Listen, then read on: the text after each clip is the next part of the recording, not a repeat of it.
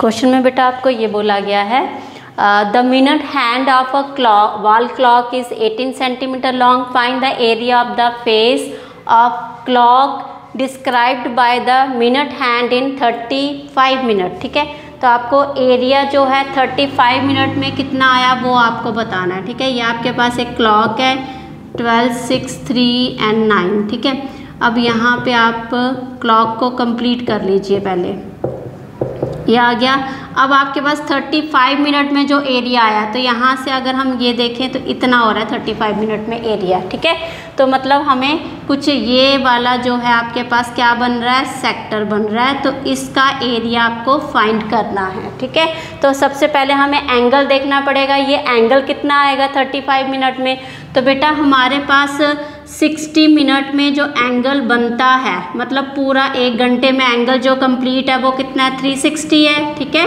अब इसी का हम वन मिनट का एंगल निकालेंगे 360 सिक्सटी अपॉन सिक्सटी तो कटिंग किया आपने सिक्स डिग्री आ गया ओके तो आपको 35 मिनट का एंगल निकालना है तो ये सिक्स मल्टीप्लाई में 35 हो जाएगा.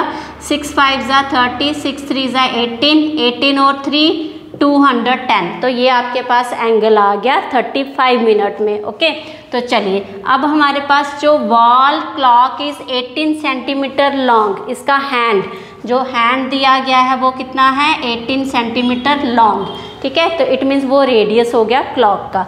तो आप उसको क्या ले लेंगे? रेडियस ठीक है? चलिए स्टार्ट करते हैं क्वेश्चन तो आप लिखेंगे रेडियस रेडियस ऑफ़ क्लॉक लिख लो या सर्कल लिख लो। तो हमने क्लॉक लिख लिया। तो वो कितना आया आपके पास? 18 centimetre okay angle angle of इसी क्लॉक का। तो सेक्टर भी लिख सकते हैं आप। उसको थिट्टा मान लीजिए। वो है आपके पास 210 डिग्री ओके तो एरिया ऑफ़ क्लॉक की जगह हम सेक्टर ही लिख रहे हैं। यहाँ पे सेक्टर जो भी बनेगा वो आएगा pi r square theta upon में 360 ओके पाई की वैल्यू नहीं दी 22 टू बाई सेवन आर आपके पास 18 मल्टीप्लाई एटीन एंगल 210 360 बेटा, ये कैंसिल हो गया।